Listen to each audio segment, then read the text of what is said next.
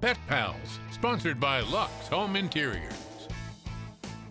All right, today is Tuesday, which means it's time for you to meet this week's Pet Pal. Officer Watson couldn't be here with us because of social distancing, but we still have a furry friend for you to meet. This week's Pet Pal is a two-year-old red pit bull. He's smart, strong-willed, and independent.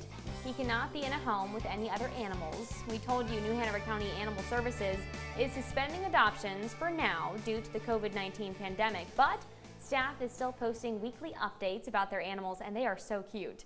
If you're still interested in adoption, you can call the shelter for more information. He is just adorable. He kind of looks like a little football player, huh? He has a cute little baby face. Yeah, maybe we can it. find him a home.